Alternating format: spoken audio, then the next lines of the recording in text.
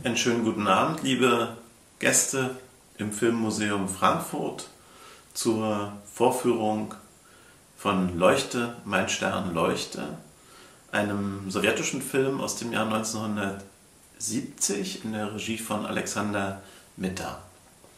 Äh, ich habe diesen Film ausgewählt, weil er einer meiner persönlichen Lieblingsfilme tatsächlich ist. Heutzutage äh, sieht man ja Filme aus Osteuropa leider nur viel zu selten in den Kinos. Dabei gibt es da äh, ganz wunderbare Produktionen. In den 70er, 80er Jahren liefen die natürlich sehr zahlreich in den Kinos der ehemaligen DDR und so ist es auch kein Wunder, dass mich diese Filme auch sehr geprägt haben persönlich in meinen, natürlich in meiner Sicht auf die Welt, aber auch in meiner Sicht auf Filmkunst. Äh, Leuchte, mein Stern leuchte ist dafür ganz sicher ein herausragendes Beispiel. Das ist, man kann so sagen, eine poetische Komödie, ja, in der es auch um die Rolle und Wirkung der Kunst geht. Ja.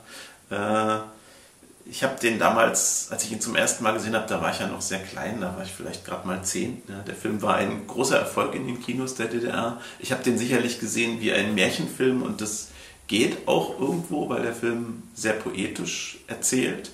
Äh, äh, die wahre Schönheit dieser Geschichte habe ich allerdings erst später verstanden.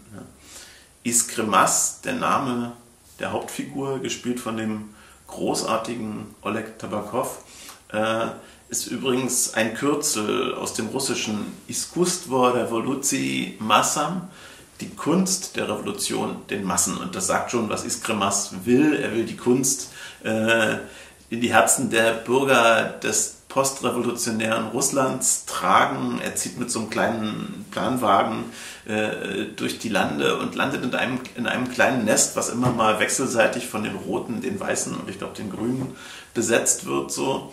Äh, und die Leute haben natürlich ganz andere Dinge im Kopf, als sich da von ihm Shakespeare vortragen zu lassen. Das hat dann durchaus auch komödiantische Züge und reicht auch rein in die Frage, mit welcher Kunst erreicht man die Herzen der Menschen. Da gibt es nämlich noch einen Kinematografenbetreiber, das ist schon die aufkommende Kunst dann des frühen 20. Jahrhunderts, der äh, aus Iskremas Sicht natürlich totalen Kommerz betreibt. Und es gibt äh, den Maler Fetja, eine sehr schöne, sehr poetische Figur, die kein Wort spricht in diesem Film. Äh, der drückt sich durch seine Kunst aus und eines der schönsten Bilder, das der Film findet, ist vielleicht, dass da ein vom Krieg zerstörter Apfelbaum ist, der nicht mehr blühen kann und äh, tot ist und, äh, und der Maler Fetja malt sozusagen die Äpfel an, um ihnen wenigstens im Nachhinein noch die Kraft des Lebens zu schenken. Ja. Äh, und äh, insofern ist dieser Film ein großes Gleichnis über das, was Kunst vermag.